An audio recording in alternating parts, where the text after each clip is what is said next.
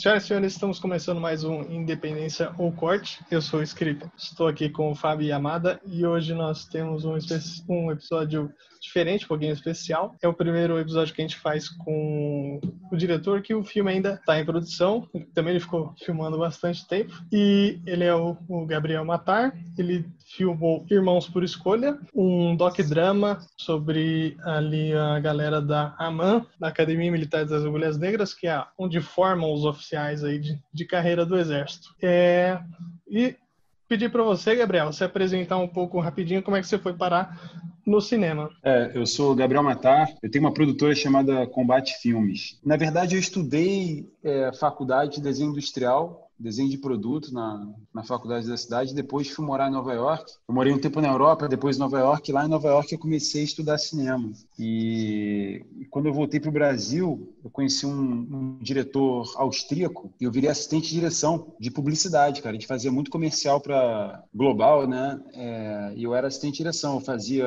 os tratamentos, fazia os storyboards, fazia as pesquisas de arte e no set fazia aquela tocava o set junto com ele, né? Então minha escola foi muito muito prática, né? Na publicidade mesmo, né? Da hora que é, é... tem outra pegada também do, do cinema, né? É, aí o cinema, pô, sempre foi um grande sonho, né? Só que a gente precisava ganhar dinheiro, precisava fazer as coisas, a gente acabou fazendo publicidade. Então é, eu sempre fui louco por documentários e o primeiro que eu fiz foi um curta, um documentário curta durante as manifestações de 2013. Eu ia para as ruas com a câmera na mão e filmava aquela, aquele circo todo, né? É, os manifestantes, os policiais, os, os, black blocs, eu filmava essas coisas todas. Fiz dois documentários nessa época e depois eu fiz um documentário de surf também, que foi muito bacana para mim. Aí depois eu fiz um, tudo isso mini doc, né? Fiz um mini doc também em Nova York sobre um um amigo meu que faz bicicletas, sempre numa pegada muito pessoal e artística, né? É, mas começou assim. Então, assim, a, a, eu com a minha produtora, a gente tem alguns projetos de dramaturgia, né? Que a gente é louco para fazer. Mas esse de documentário acabou sendo mais viável, né? É, engraçado, em 2013 eu estava no quartel, eu estava na Polícia do Exército nessa época, vendo essa, as manifestações, essa coisa louca, de outro lado, né? De, de dentro do quartel. Bem diferente. É, agora, agora, sobre o Irmãos por Escolha, conta um pouquinho para a gente qual foi a, a ideia inicial desse projeto Cara, a ideia inicial foi veio do meu primo. O meu primo é um ator da Rede Globo. Ele estava fazendo uma novela chamada Salve Jorge e para ele fazer o personagem que era um capitão do exército, a AMAN abriu as portas para que os atores fizessem laboratório lá dentro. Ele fazia um capitão de cavalaria e ele ficou lá na, na, no Parque da Cavalaria e fez um exercício inopinado junto com os cadetes. E no mesmo dia, na madrugada, ele me ligou e falou: "Cara, você tem que vir para cá, você tem que fazer um documentário aqui, você vai gostar". E ele me, eu lembro muito bem dele me contando o espírito de cada arma, né? o espírito da infantaria, da cavalaria, da artilharia, da comunicação, material bélico, intendência, e isso me chamou muita atenção, né? como que dentro do exército tinham, tinham muito mais coisas do que eu conhecia. Né? E ele falou muito do espírito de corpo, da camaradagem, que era muito forte, que ele foi tratado como se fosse um deles, e que todos se ajudavam muito, né? e como tanto eu quanto meu primo, nós perdemos nossos irmãos quando nós éramos pequenos, né? É, aos 12 anos, eu perdi meu irmão, um ano, um ano seguinte ele perdeu dele. Esse tema de camaradagem e irmandade para a gente sempre foi muito forte, né? Foi isso que foi a, partícula inicial lá em 2014. Ah, entendi. É, só para explicar um pouco para a galera que nos ouve, que geralmente acho que não está familiarizada, a, as armas são meio que os departamentos, para é, deixar mais analogia parecida, né? Dos departamentos do cinema. Tem a fotografia, a arte, a direção, essas coisas. No exército existe as armas, né? Artilharia, cavalaria, infantaria, intendência, é, mas que fique bem claro que a infantaria é a rainha das armas. Né? Sacanagem. sacanagem. É, a é infantaria é o combate a pé. Aí tem essa sacanagem entre as armas, essa brincadeira entre eles. É, mas tem uma, uma... uma, pergunta, né? eu, eu não entendi nada. É, mas essas divisões são só do exército ou é da aeronáutica marinha também mantém essas divisões? Não, aí ela, as outras as forças vão ter divisões diferentes. A aeronáutica eu sei que também tem infantaria, mas aí ah, não, tá. por exemplo, a aeronáutica não vai ter uma cavalaria. Não, não vai ter. É, é. Eles são diferentes. tá. Entendi, entendi. Tem a saúde também, Fábio. Tem a arma da saúde que são os médicos, tem enfermeiros. É. Sabia, é, é, que a, é, falar arma, pra galera hum. vai pensar na arma física, uma pistola, um fuzil, hum. não é só a divisão que se chama arma. É tipo é uma, especialidade. É, é, é, tipo uma... é um departamento. Falar departamento fica mais claro. Entendi, entendi, entendi. Pode é, falar, Gabriel, você ia falar alguma coisa. Não, eu ia falar que essa é, é, eu achei muito interessante, né? É, logo no início me chamou muita atenção que as pessoas costumam achar que o soldado é tudo igual e que é vira robozinho, né? E de cara o fato de você escolher uma especialidade já mostra uma, uma separação pelo tipo de pessoa que cada um é, pelos atributos inerentes daquela pessoa, daquele indivíduo cada um tem. Eu achei isso muito interessante. Então, é, quem tem alguns atributos como, como coragem, iniciativa, é, rusticidade, acaba indo para a infantaria, né?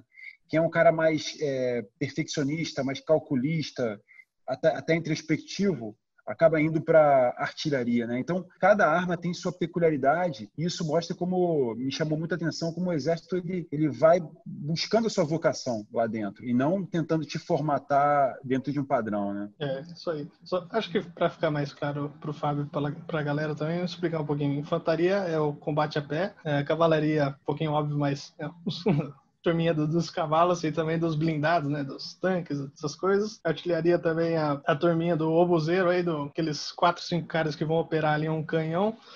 E tem também essa que é a intendência. A intendência é meio que a produção, é a logística que vai dar, fornecer comida, essas coisas para as outras armas também. Cara, exatamente. Eu, eu, sempre, eu sempre fiz esse paralelo lá dentro para os militares, inclusive, como era parecido com o cinema, né? a, infanta, a infantaria é a equipe de câmera né? Uhum. É, com certeza, e a, aí você pega lá a, a, a intendência realmente é o produtor executivo, né? Ali que está tentando ver a logística, né? Então é, é, muito é muito parecido, inclusive o organograma do exército é, é o maior que tem, né? Que a gente conhece e logo depois vem o do cinema, né?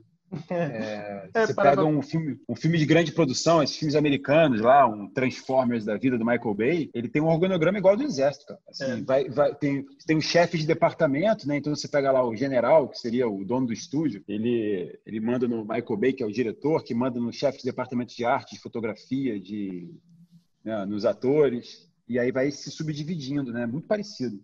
Engraçado que até tem, existe, né? No, talvez veio mesmo do, do, do exército, que no, no, no, exército tem o, as patentes, né? Terceiro sargento, segundo sargento, primeiro sargento, primeiro, segundo e primeiro tenente, e no, cinema também tem, né? O primeiro assistente, o primeiro assistente de direção, o segundo assistente de direção, o terceiro de câmera, e por aí vai. É, Gabriel, como é que rolou a autorização do Exército para você fazer esse documentário ficar é, foram 100 dias, né, que você ficou gravando lá na, na AMAN? Cara, eu, eu, quando eu escrevi 100 dias, já deviam ter uns 110, 120, cara. Agora já, já perdi a conta, eu tenho que fazer a conta novamente, mas passou de 100 bastante, né? A autorização foi muito simples. É, as pessoas têm uma tendência a achar que o exército é fechado, mas tem um termo que eles dizem lá dentro que eles fazem que eles falam que o exército tem muros baixos e que ele está aberto para a sociedade, né? E a gente não tem essa impressão normalmente. Quando eu bati na porta com meu primo, né, que tinha estado lá dentro, mas a gente bateu na porta normalmente como qualquer pessoa, um sentinela que estava de plantão de guarda ali na, na porta, no portão da MAN, ele nos encaminhou é, para a sessão de comunicação e lá a gente falou com o S5, que é o, o coronel responsável pela comunicação, coronel Férez, que de cara gostou do, do, do, A gente apresentou nossa ideia, ela era bem rústica ainda, né? era só uma ideia mesmo, era só um bate-papo. Ele gostou tanto que ele encaminhou a gente para o comandante da MAN, que era o general, o general Tomás, que abraçou a ideia na hora. Foi bem fácil, cara, para falar a verdade é, o, despertar o interesse do comandante da MAN. Aí o comandante da MAN foi até a Brasília e lá ele teve que realmente desenrolar para conseguir essa autorização. Mas a MAN se interessou muito fácil. Pô, então foi bem fácil mesmo, né? Já ouvi foi. relatos aí de algumas dificuldades em outros projetos, em outras unidades também. Mas eu acho que o interesse deles veio do, do, do a gente apresentou o projeto como uma forma de humanizar a imagem do soldado uhum. E mostrar a camaradagem, a, camaradagem, a irmandade. Então, eu acho que esse mote foi o que interessou eles, que sobre isso eles têm muito, muito lugar de fala, né? é, é, sobre camaradagem. Né? Entendi. É, existe muito camaradagem. Uma coisa que eu vi bastante também foi quando eu servi, né? Espírito de corpo, essas coisas todas. Acho que seria bom também explicar um pouco da é, Aman, é, Fábio, e também os, os hum. ouvintes aí. É de lá que saem os, os oficiais provavelmente, eh, quer dizer, poucos viram generais, mas o, o alvo de muitos ali é virar general, né? Todos oficiais. Então, o cara vai, ele presta uma prova, ele vai para Campinas, para SpaceX, e aí ele fica lá um ano treinando, e depois ele passa quatro anos na AMAN, que é, é aí que o o Gabriel filmou o, o doc dele. E queria perguntar aqui, Gabriel, quais fases do treinamento que você, você gravou? Como é que você gravou, na verdade? Você pegou só os um pessoal ali que já estava terminando o curso, os veteranos da, da mão, ou você pegou a galera que estava entrando? Como é que foi? A ideia era pegar um pequeno grupo de cada ano, né? Do primeiro ano, do segundo ano, terceiro e quarto ano. Era como se tivesse alguns a gente tem uns quatro, cinco personagens de cada ano. É, então, assim, a gente cria muito e é muito interessante o que eles chamam de curso básico, que é o primeiro ano na AMAN, porque é muito interessante você ver o cara que é, ainda é civil, ainda tem traços de, de um jovem que estava na casa da mãe há, há, pouco tempo, iniciando seus treinamentos. Isso era muito relevante para gente. Da mesma forma que o cara é do quarto ano, que você vai ver ele já pronto para ir para a tropa. Então, sei lá, os dois extremos seriam a, a, a prova a Fazenda Boa Esperança, né? Eles têm a primeira prova de campo do curso básico, que é numa fazenda ali na, na região de Resende, em que o cadete acampa por vários dias e, e faz diversas oficinas com tiros, é, de cavar trincheira, acampamento, tudo isso é, é, eles fazem é, marcha noturna, tudo isso pela primeira vez. Então, assim, é muito interessante ver essa, esse garoto saindo da, debaixo da asa da mãe e, e, e se tornando um militar, né? E na outra ponta, você vai ver um cadete do quarto ano já muito maduro, muito responsável, é, com uma postura, poxa, é, perfeita de um militar, pronto para ir para a tropa, né? E já fazendo treinamento de GLO, coisas mais complexas que serão empregadas esse ano de 2021 por muitos deles é, em regiões é, tensas, né, do Rio de Janeiro, das fronteiras do, do, do Brasil, né? GLO, a garantia da lei da ordem. Acho que você tá com muito. Ficou muito tempo lá, tá com muito vício de militar, tá quase virando militar já. É... Gabriel, você fez uma campanha no Catarse, né? Você, acho que foi a campanha Flex, né? Você fez uh, pelo Catarse, como é que foi? Rolou? Rolou aquela grana? Como é que foi? Não, então, é... quando a gente começou, é... em 2014, a gente tentou através da Ancine, conseguir algum tipo de apoio e não conseguimos nada, nem, nem dinheiro de desenvolvimento, nem nada. É, e foi bem, bem, frustrante, né? Acabei, estava pegado com outras coisas de publicidade, ficou um pouco de lado. Em 2018 a gente retomou. Quando eu retomei, eu pensei em fazer o Catarse e cheguei a começar, mas eu cancelei porque eu fiquei sabendo que não era muito bom na hora que você fosse é, vender o filme para os streamings que ele tivesse sido produzido dessa forma, né? Teria dificuldade, eu fiquei sabendo que teria dificuldade de conseguir um espaço em streaming com coisa de, feita de crowdfunding. Então eu abri mão do crowdfunding logo no começo, né? E a gente financiou de forma independente com a minha produtora mesmo. Ah, entendi. Pensei que tinha rolado mesmo, etc. É, eu, é, achei, achei legal no seu projeto que tem uma presença bem forte vocês nas redes sociais, né? Pelo menos, é, principalmente no Instagram. Vocês postam bastante coisa, vocês estão, acho que, postando é, desde antes de, de, produzir? A gente começou, é, a gente fez o Instagram ainda nessa fase do, de, de pré-produção, porque a gente teve o ok da AMAN é, no final de 2018, mas a gente precisava da autorização do novo comandante da AMAN que tinha sido feita a passagem de comando. Então, nesse período, a gente abriu o Instagram e a gente foi, inclusive, filmar a primeira diária ainda sem autorização do comandante. Só depois disso que foi feita uma reunião a gente conseguiu a autorização do novo comandante, né? Então a, a rede social foi feita nessa época E a gente já começou a postar desde o primeiro dia, é, muito nos stories, né? Que hoje em dia estão os destaques. Então, já tem um making off inteiro ali de quase todas as diárias de gravação. Entendi.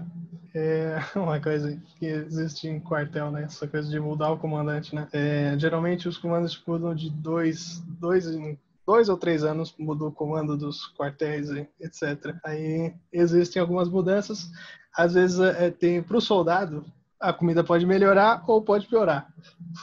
Fora isso, não muda muita coisa. É, tem, eu vi que você gravou algumas tem lá dentro da MAN, né, que o cadete ele já pode fazer alguns cursos é, de especialidade, né, de paraquedista, montanha, essas coisas. Você cobriu todos esses cursos? Como é que foi? Cara, excelente pergunta. Todos não. Nós cobrimos dois desses cursos, que é o PQD e o Guerra na Selva. O PQD é um curso muito conhecido aqui no Rio, né? Aqui no Rio de Janeiro, por exemplo, se você perguntar para a maioria das pessoas o que é a MAN, muita gente não sabe, mas PQD as pessoas sabem. né? E o Guerra na Selva também é super popular por ser na Amazônia, né? Então, assim, muita gente conhece. Eu não sei por que eu escolhi exatamente esses dois cursos. Eu acho que eu, eu, eu acho que eu escolhi realmente por, por carisma mesmo, porque é, eu, eu, desde criança ouvia falar de PQD, chamava muito minha atenção. E quando a gente começou a filmar na AMAN, me chamava muita atenção o nome Guerra na Selva e o facão que eles carregam que tem uma cabeça de uma onça dourada. E as histórias que eu ouvi dos militares que contaram para gente, as místicas envolvidas com a Amazônia, as lendas da Amazônia, as dificuldades da sobrevivência, é, eu não consegui ficar de fora. E a gente foi lá para Manaus, lá no CIGS, né, que é o Centro de Instrução de Guerra na Selva.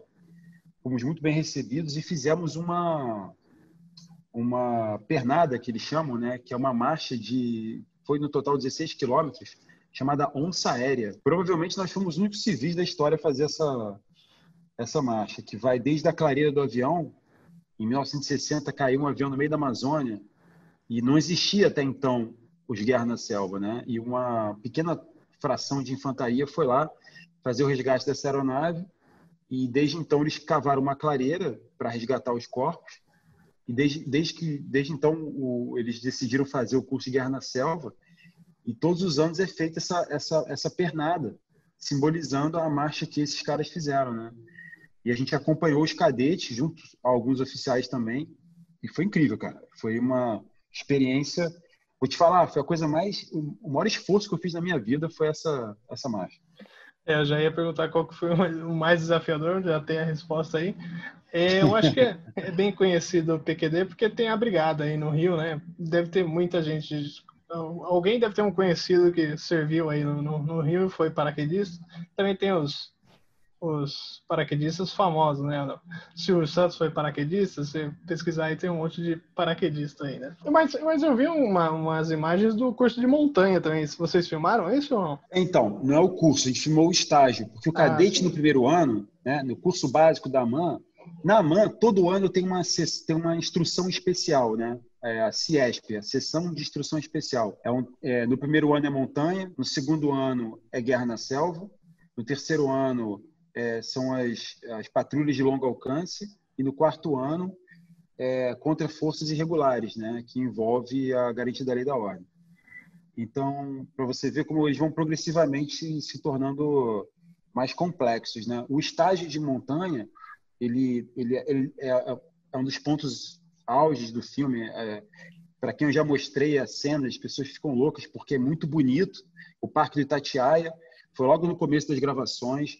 O frio estava menos 7 graus, o riozinho estava congelando. De manhã era, era, era praticamente nevava e a gente acompanhou durante cinco dias esses cadetes, desde, desde o momento que eles chegam à noite, na madrugada, até o momento que eles chegam lá no topo da, das agulhas negras, fazem a oração da montanha lá no alto. É muito emocionante esse momento, cara. É inesquecível. E depois desce e faz o batismo no rio, nesse friozão. batismo pesado. É, Gabriel, você tem o plano, de, acho que de, de, vender isso aí, né? Como é que, em que pé você está nisso aí já? É, quer dizer, você está finalizando ainda, né, o doc, mas já planeja vender, é, divulgar, correr festivais, como é que tá? Sim, a gente A gente apresentou, por acaso, essa cena da montanha é, para uma pessoa da Netflix é, Latin America, ele gostou bastante e pediu para ver o filme pronto. Então a gente teve essa abertura. Então assim que o filme estiver pronto, eu vou mostrar para essa, essa mesma pessoa. Mas independente de qual streaming que, que vai passar, a gente vai mostrar nos festivais, né? Eu tenho muito interesse em, em, rodar os festivais, mas o objetivo final é que o máximo de pessoas possa ver esse filme, né? A gente quer mostrar para o Brasil um pouco desse dessa cultura que você falou do espírito de corpo, que é um termo pouco conhecido e muito relevante para um país, né?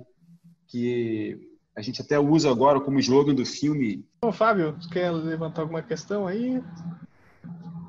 Fábio? Sim, sim. Então, é... você falou um, um, logo no começo que a ideia era humanizar os soldados, né? Uhum. Ou, humanizar o, o exército, né? É, pelas cenas que eu vi no teaser, você gravou somente ali dentro, né? Ou você fez, tipo, alguma coisa fora da, da academia, tentando ver a vida de cada personagem? Ou só foi através dos relatos deles? Como é que foi feito esse processo de humanização dos personagens? Então, a gente quis ficar totalmente lá dentro. Eu não quis que, é. desde o início, foi muito importante que esse filme não fosse um filme social, né? que fosse um filme de imersão nesse novo universo. Porque também, pensando no espectador, era interessante que o espectador entrasse totalmente num universo que ele não conhece, né? E, e que é o que acontece com o cadete. É, na AMAN, é, é internato. Então, acho que no primeiro ano o cara nem sai no fim de semana, ele fica o tempo todo na academia, né? E, e é isso que, que, que faz esse, essa, essa imersão que faz esse, esse mergulho se tornar profundo para os cadetes e para o espectador ao mesmo tempo. Então, a gente tem os familiares entrando na AMAN durante as, as, as formaturas, né? Tem a formatura do primeiro ano, a formatura do quarto ano. As famílias aparecem lá, abraçam seus filhos, aí você vê a mãe, você vê a irmã, a namorada dos cadetes, né? Mas a, a, a, humanização, ela independe do que acontece do lado de fora, ou até mesmo das famílias. Ela, você vê, é, é um filme de observação, né? É, é um, eles chamam de veritar, né? Cinema veritar, onde você consegue ser uma mosquinha na parede e ver tudo que está acontecendo. Desde o cadete tremendo dentro da água, é, tomando bronca do tenente, até o momento que eles comemoram uma vitória, que eles se sentem derrotados, todos esses momentos são mostrados, né? E eu acho que as nuances da humanidade estão tá nisso. O cadete que cria coragem para saltar do helicóptero, né? É, é, e isso tudo é de observação. É um filme que é, não é muito didático, que vai ficar explicando o que, o que é tudo, mas se você prestar atenção, você vai ver o, o, o cadete que está com medo de saltar, o outro que está vibrando porque foi destaque de um exercício, o outro que que passou mal e precisou da ajuda do amigo que carregou ele nas costas. Então, a, a humanidade ela está no detalhe, né? A dor que o cadete está sentindo no pé, então ele tem que tirar a bota para para fazer a manutenção, que é passar talco no pé, lubrificar. Né? Então, é, realmente é um filme bem cru nesse sentido, né? Bem no detalhe mesmo. Certo.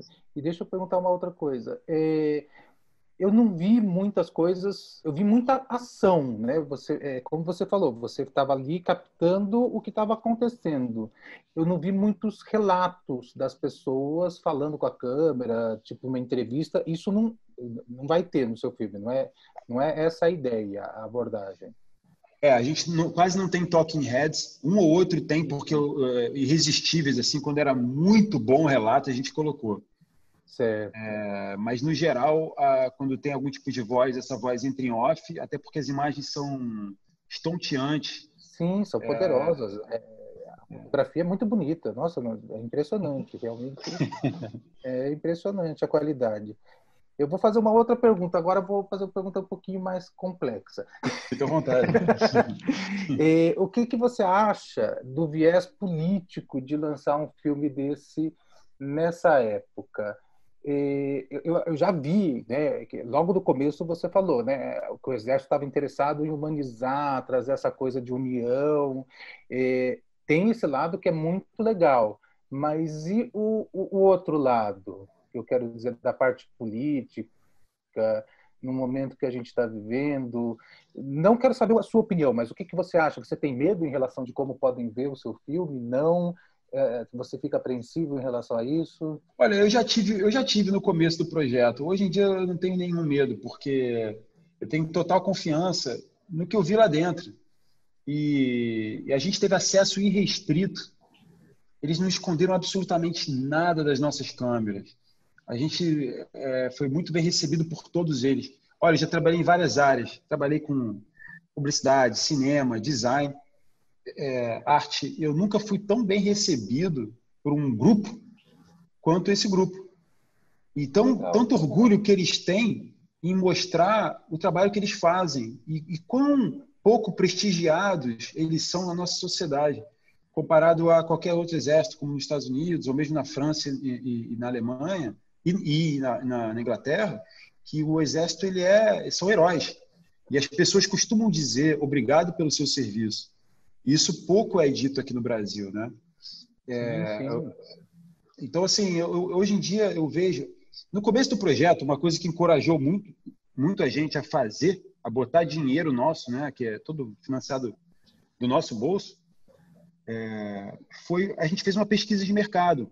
Uma empresa chamada Consumoteca, são nossos amigos, nossos parceiros, eles fizeram uma pesquisa de mercado no Brasil inteiro para testar a aceitação desse filme através do promo, do promo que a gente fez em 2014. E a gente teve 7% de rejeição. Eu tenho essa pesquisa, posso até disponibilizar. É, isso me encorajou muito, me mostrou que essa percepção que a gente tem aqui na Zona Sul do Rio de Janeiro, talvez né, é, é, em São Paulo, nos lugares é, mais com mais é, as pessoas mais ligadas à cultura, tem uma rejeição maior do que o restante do Brasil, das pessoas, entre aspas, comuns, né? que tem uma aceitação absurda. É a instituição brasileira mais maior aceitação. Né? Então, eu, eu, eu, tudo bem, talvez alguns, algumas pessoas ligadas à cultura tenham algum tipo de rejeição, mas acho que o público em geral está carente de ver o seu exército e tem muita curiosidade. Né? Sim, eu, eu concordo com você. Eu acho que é, no interior, em cidades pequenas, o exército passa a ser um, um modo de vida, né?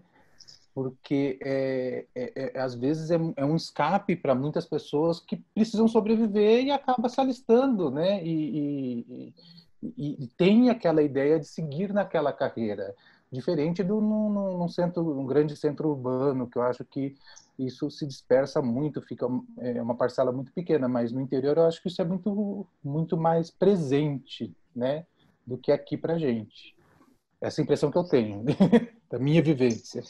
É, você está falando do cara que quer servir, mas além sim, do cara que quer servir, a, a, a dona de casa que está ali vê, vê um militar passando e convive com eles nas fronteiras, nos rincões do Brasil, como eles costumam dizer, essas pessoas têm o, o exército como a única é, presença do Estado em alguns lugares do Brasil. Você imagina que um tenente recém-formado na AMAN, de 25 anos, ele é ele acaba se tornando o cara que ensina higiene pessoal, ele acaba sendo o, o, o psicólogo, ele acaba sendo o, o pai de muitos desses, desses, desses soldados, ou até da comunidade ao redor do quartel, que não tem, são carentes de, da presença do Estado, né?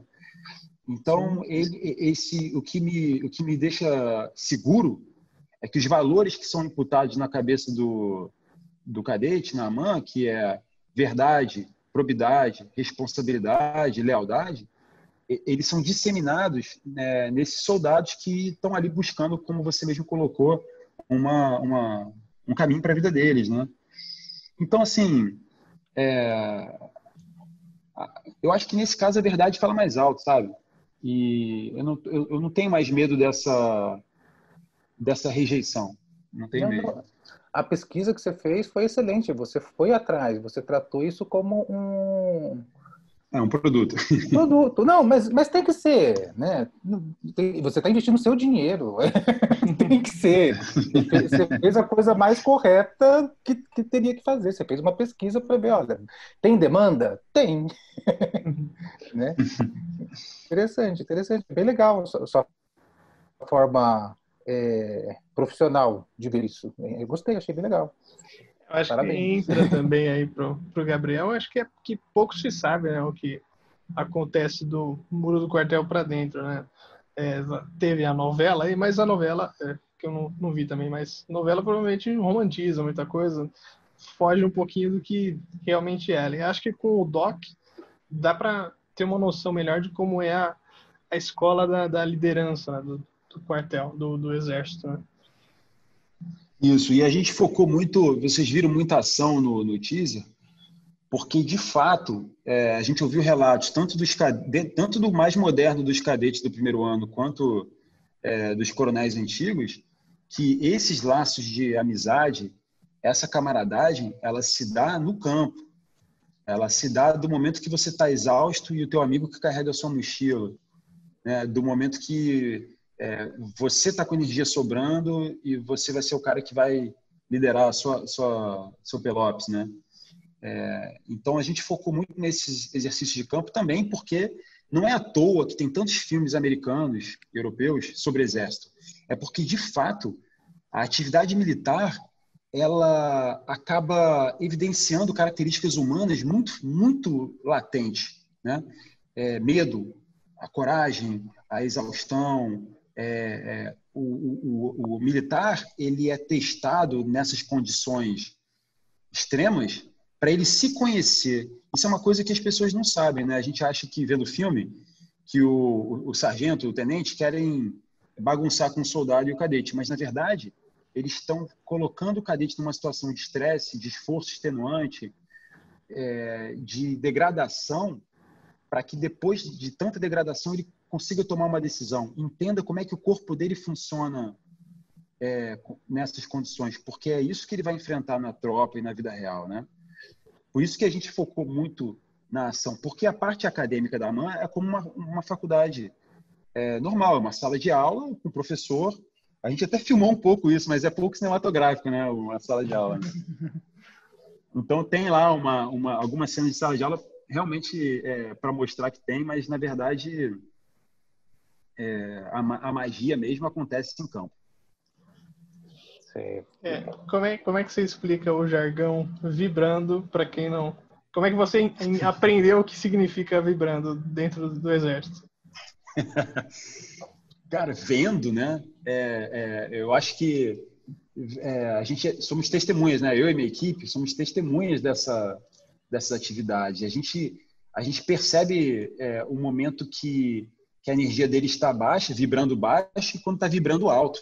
É muito claro quando é, as, a, no começo está todo mundo buscando um, um, menor esforço e o, e, o, e, o, e o, conforto, né? Mas ao longo da atividade eles são forçados a, a se esforçar, a se unir e vibrar. E quando a coisa dá certo, aí os caras ficam vibrando alto, né? Eu não sei explicar, cara. É, é realmente o, o, sentido da palavra vibração, né? Parece que o cara tá é, tremendo, né? É, é, eu acho que as pessoas, o civil vê isso muito no futebol, na torcida, no esporte, né? É, é, engraçado porque a atividade militar em muitos momentos parece o esporte, né? O esporte ele também te coloca nesse nessas situações é, de estresse e degradação, né? E quando o cara faz um gol, quando o cara atinge o objetivo, completa uma corrida, ele vibra, né? É, tá aí uma analogia boa, né? A torcida tá vibrando, aí dá para pro possível o paisano entender o que é, é, o jargão vibrando dentro do, do quartel, é mais ou menos isso. Tem mais perguntas, é, Fábio? Falei, falei, Gabriel. É, tem um, tem uma... Diga, diga. Não, eu, eu, não entendi até agora se é um longa-metragem, se é um média. É, isso não chegou, ou vocês não chegaram ainda no, Sim, não, é, é, um, é um longa-metragem, eu não sei dizer ainda exatamente qual a duração, mas vai ser mais de uma hora, né? Provavelmente uma hora e meia, eu tô achando, cara, sei lá, alguma coisa próxima de uns 100 minutos. É, porque é, é, eu estou testando, né, com as minhas pequenas é, audiências aqui de amigos, eu estou hum. testando e, e, inclusive, eu apresentei uma hora, do, 50 minutos do filme em blocos, né? lá na os cadetes da MAN, eles vibraram muito para usar a vibração. E mostrei também na escola preparatória de cadetes do Exército, que se mencionou lá em Campinas, eles também vibraram muito. Eles estão, né? Imagina, os caras viram isso agora em dezembro, sendo que eles vão ingressar na AMAN é, em breve, né? Então, para eles, era o público mais interessado possível. Né?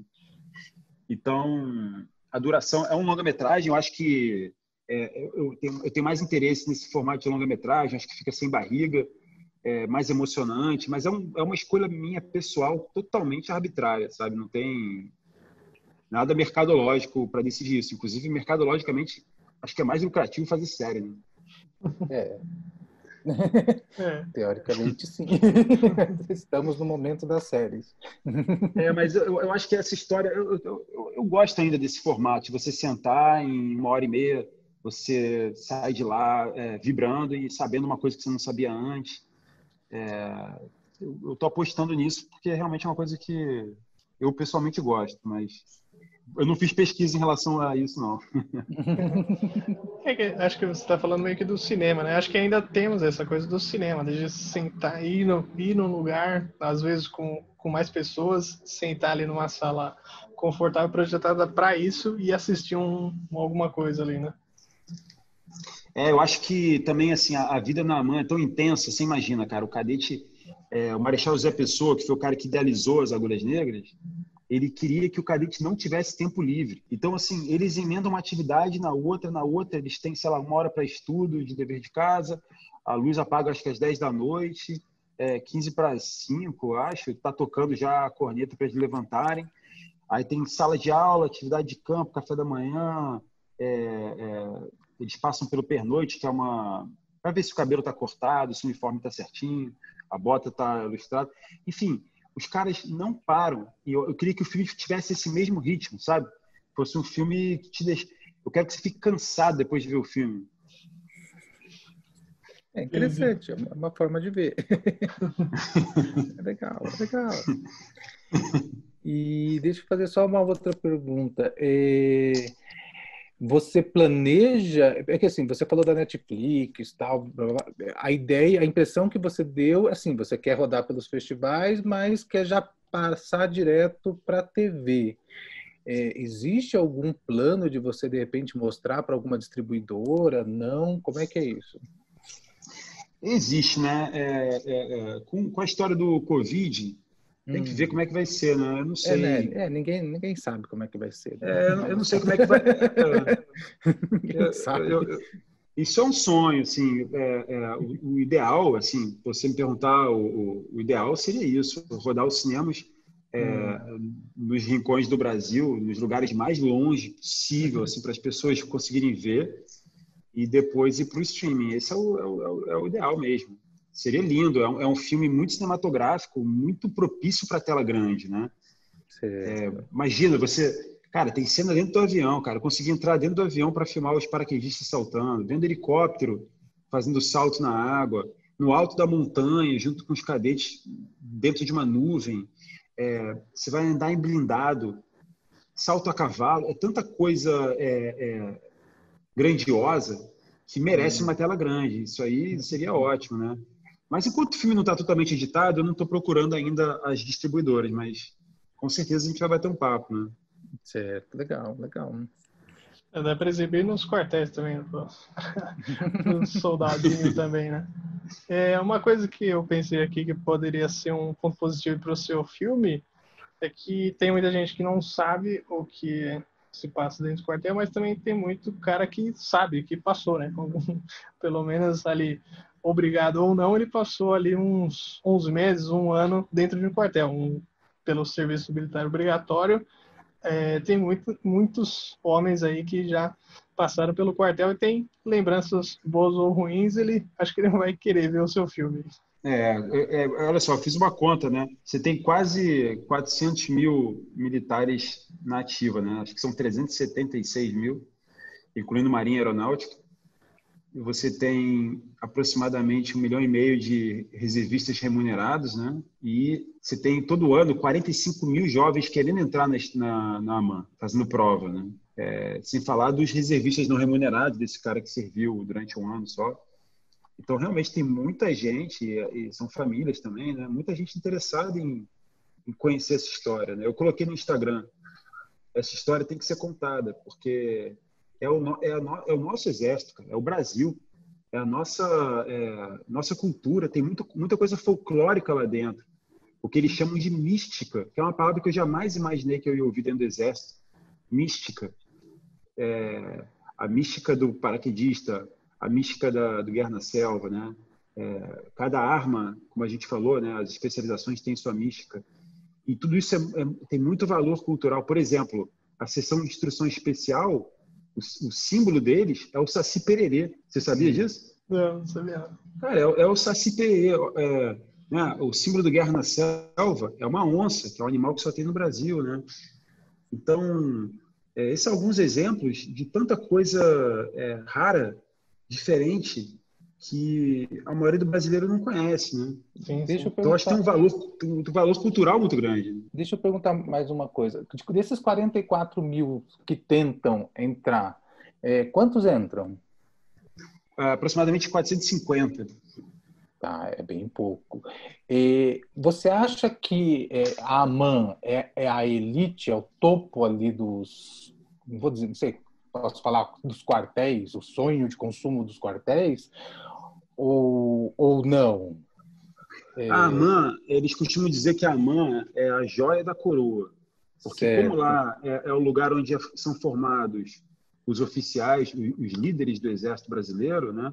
Hum. É, o, os valores saem de lá, esses principais valores. E muitos desses exercícios de campo que a gente mencionou, eles são feitos para trabalhar uma coisa que eu também nunca imaginei ouvir lá dentro, que é os atributos da área afetiva, que envolvem coragem, que envolve camaradagem, espírito de corpo. É quando o cadete entende que ele depende do outro para conseguir o objetivo, que ele, que ele entende que ele não é, é o super-homem, e isso é trabalhado lá. Só que uma vez que o, que o cadete sai de lá, às vezes alguns deles conseguem sair com, com curso de guerra na selva e de paraquedista, né? Mas depois de lá, eles podem fazer outros cursos, né? É, e, como comandos, forças especiais, Caatinga, Pantanal, alguns cursos de aeromóvel e vários outros aí que também eu nem sei, mas assim, o cara, o militar, ele vai se especializando uma vez que ele sai da AMAN, então, quando você pega um major, um tenente-coronel, ele já tem vários cursos desses. Assim. Aí sim, ele pode se tornar um, um militar, como você falou, de elite, né? Certo. Eu acho Mas... que para ficar mais claro para o Fábio, é, a AMAN é do Exército, aí você tem a AFA, que é da Aeronáutica, que é mais parecido, né? Um, um ano treinando, quatro lá na, na, na AFA, que o cara pode sair piloto da, da aeronáutica, e também tem a da Marinha, que se eu não me engano é o, a Escola Naval, que é no Rio de Janeiro, que aí sai a liderança da Marinha. É, acho que não, não tem uma. É, depende da, da, da, cabeça da pessoa. Se ele quer ser um militar terrestre, ele vai para o exército para a MAN, esse é o alvo dele. Do, se o cara quiser pilotar um caça, um, alguma coisa assim, ele vai para a AFA. Se ele quiser comandar um, um navio, aí ele vai para escola naval. Não, não, eu entendi essa parte. Eu fiquei em dúvida só, assim, eh, será os outros quartéis não vão ser iguais a lá, né? Eu imagino que lá talvez tenha maior verba, não sei, não sei como que é a divisão dessas coisas, mas eu imagino não, que ali... É, é por seja... exemplo, você tem a ESA, a, a, ESA é a escola de sargentos, né? A diferença hum. entre a diferença entre um oficial é, um tenente né, um, e um sargento, é que o oficial ele, ele passa por um processo de formação nesses quatro anos, que faz com que ele, ele é especializado em planejar. Ele vai criar os planejamentos. E o sargento ele é, ele é adestrado para executar. Essa é a diferença. É como você hum. comparar, mais uma vez, aquela analogia que você trouxe para o cinema, né? É como se o oficial fosse o diretor e o seu sargento é o diretor de fotografia, é um, é um chefe de departamento, é, é, o, né, é mais ou menos essa relação. Então, você, quem planeja o set, quem planeja a cena, ele é o diretor. Mas o diretor de fotografia é muito casca grossa. E os sargentos são muito casca grossa. Os caras sabem muito, só que eles acabam se tornando especialistas em alguma coisa. Então, o, o, o, o oficial formado na MAN, ele é um generalista que sabe executar todas as coisas. Ele sabe dar um tiro de obuseiro, ele sabe é, fazer as coisas todas, mas ele não é um especialista em execução. Então, por exemplo, muitos deles têm curso de caçador, que é a gente conhece como sniper, né? Hum. Ele tem, ele faz o curso, mas numa operação real, o sniper vai ser um cabo, um sargento, um cara especializado nessa nessa atividade. Então, o que muda é, é, é, esse grau de especialização, né, versus planejamento. Entendi, entendi. É isso para quem nunca frequentou nem leu, né? Fica, é, é, é, é, não vou dizer que é difícil de entender, mas é que a gente não imagina. É, mas é novo, né, para você? Coisa... para mim é uma coisa assim, né? Não, sei nada, imagina. Eu só, eu só fui lá, apresentei o meu, meu, nem lembro o que, que era que eu tinha apresentado lá. Ah, isso, can. Falei, ó, tô fazendo medicina, me deixa em paz, não quero ir para lugar nenhum.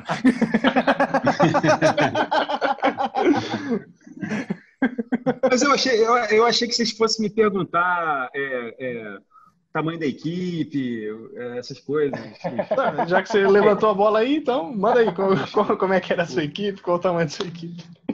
Porque quem, porque quem, quem vê o, eu acho engraçado porque quem vê o teaser acha que a gente estava com uma estrutura absurda, mó galera, equipe grande, não era. Hum. A equipe, a equipe é, que a gente mais usou, talvez, tenha sido a equipe de quatro homens, né? É, eu, como câmera, né? Um segundo câmera, o técnico de som e o meu assistente, que também fazia, é, também fazia parte de produção, né? E algumas das vezes era só eu e meu assistente. Então a equipe variava de dois, quatro nos eventos muito grandes, a gente tinha uma terceira câmera, né? Então acabavam sendo seis pessoas. E duas ou três diárias a gente usou uma equipe de drone, que também eram mais três pessoas. Mas normalmente, cara, eram dois ou quatro caras só. Bem, bem enxuto mesmo. E tinha algum roteiro? Um roteiro pré-programado? Não? E vocês iam. Ah, vamos lá, vamos ver o que acontece. E vocês já sabiam que ia rolar na instrução, alguma coisa assim, ou só ia gravando? Cara, excelente pergunta, né? É, a gente. tudo lá já tem um roteiro. Né? As instruções todas são roteirizadas por eles. Né? E quando eu falo roteirizado, é roteirizado mesmo. Por exemplo, nesses exercícios da, do quarto ano de garantia da lei da ordem, inclusive tem é, soldados é, com figurinos de, de traficantes e etc., é, atuando como força oponente, como inimigo. É como se fosse um, um, uma encenação mesmo, né? Então, o cadete entra com, com, com a fração dele, né? Numa para fazer um, como se fosse estivesse entrando numa comunidade e vão ter esses traficantes atirando contra eles e eles têm que reagir a isso, óbvio, né? Tá usando paintball, tiro de festim. Mas é, isso tudo já era meio que roteirizado pelo, pelo curso e a gente, com o tempo, aprendeu que a gente tinha que bater um papo com o comandante, entender o que ia acontecer e a gente interagia com, com, com o que rolava. A nossa sorte é que tudo acontece várias vezes, né? Isso foi sensacional para decupagem do filme, né? Porque se na primeira vez você não pegou direito determinado ângulo, na segunda vez Primeiro, aí... segundo, terceiro take. Total. Não, foi muito engraçado. Era exatamente isso, porque aí eu falava, pô, depois que eu entendi isso, eu falava, cara, vou fazer o plano aberto primeiro. Aí fazia o plano aberto, tem. Os caras vão fazer de novo, muda a lente, bota 85. Aí tem. Aí, ah, vamos fazer de macro, pertinho. Aí tem. Então o filme ficou muito bem decupado por conta dessa repetição deles. Né? Eles estão todos vestidos igual, tudo parecido. ah, é.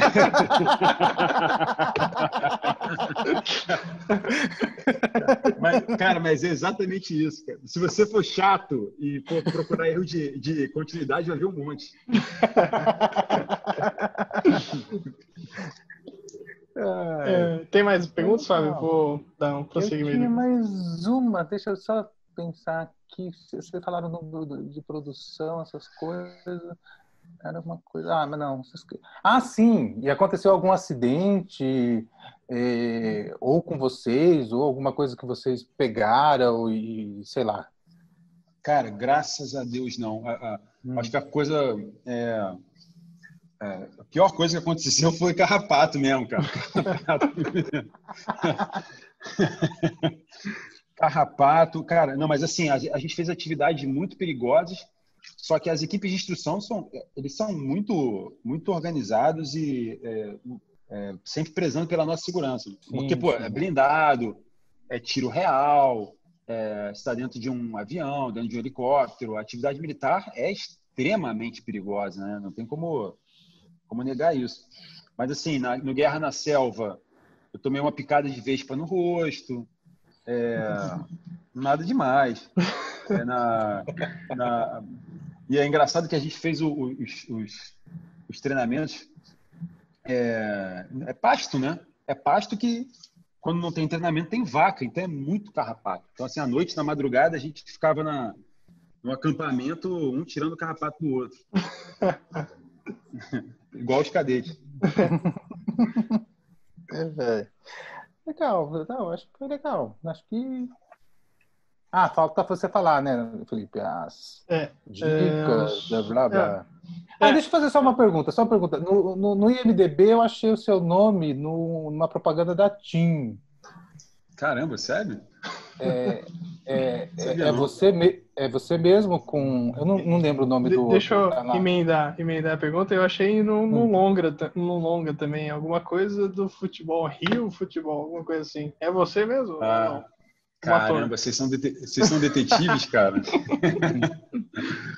Cara, eu fui ator, né, cara, quando eu tinha meus 20 e poucos anos, e eu fiz um longa-metragem chamada Show de Bola, é, de um diretor é, é, alemão. Eu era ah, o então é irmão do. É. eu era o irmão do Thiago Martins, aquele ator. Hum, hum. É. Eu também vi o seu nome nesse filme, mas eu falei, acho que não é, não. Acho que esse show de bola é daquele filme argentino, da, dos, dos bonequinhos do. Como que é o nome? Ah, nem lembro daquele aquele joguinho lá de, de rodar. É... Bom, eu não sabia, eu não sabia que tinha publicidade na. Tô vendo aqui o tinha, não sabia que tinha publicidade na, na, na MDB não. Nem eu, eu levei um susto a hora que eu vi aquilo lá, eu falei, ué, que coisa louca. Mas é você mesmo. Sim, sim. Sim, sim, então tá. é, agora dando prosseguimento aqui no, no programa, só para a gente encaminhar para o final. Gabriel, você tem alguns projetos futuros aí? Você pensa em fazer docs sobre a ESA, AFA, Escola Naval? Ou você tem projetos de, de ficção que você citou, acho que lá no comecinho? Como é que estão? Claro, você está terminando esse, mas já tem algumas coisas na gaveta aí? Tem, cara. Eu tenho muito interesse em fazer um projeto de ficção científica é, com, os com, com, os guerreiros de selva, lá na Amazônia. Legal. Já tem, pode falar um, uma sinopse, assim? Como é que você pensa? Ah, é segredo ainda, ah, cara. beleza, muito, beleza, beleza. Tá muito incipiente ainda. É, mas eu tenho muita vontade de fazer isso. Acho que é, muita, muita, muita mística lá envolvida. É, então. Não, legal, legal. É, tem cada história, cada lenda que a gente ouviu lá. É muito interessante esse folclore brasileiro que o próprio brasileiro não conhece. Né? Então, me, inter, me, interessa, me interessou muito. Assim, eu gostei desse universo militar, achei muito, muito humano e, e, e cinematográfico. Né? Entendi. É, quais, aqui no finalzinho a gente faz essa pergunta para os nossos entrevistados, quais dicas você daria para a galera que está começando no cinema?